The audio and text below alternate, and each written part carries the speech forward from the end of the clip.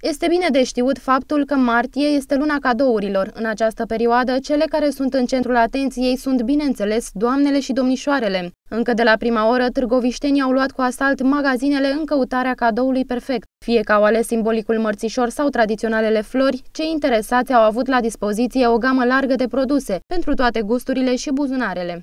Am luat, am luat, am fost mai devreme și am luat. Acum am pentru persoane mai... Ce ai ales pentru persoana iubită?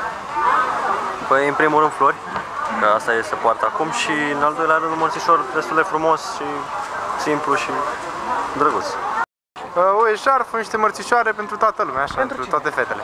În special. Prietenă, mamă, soră, Am cumpărat două brățări.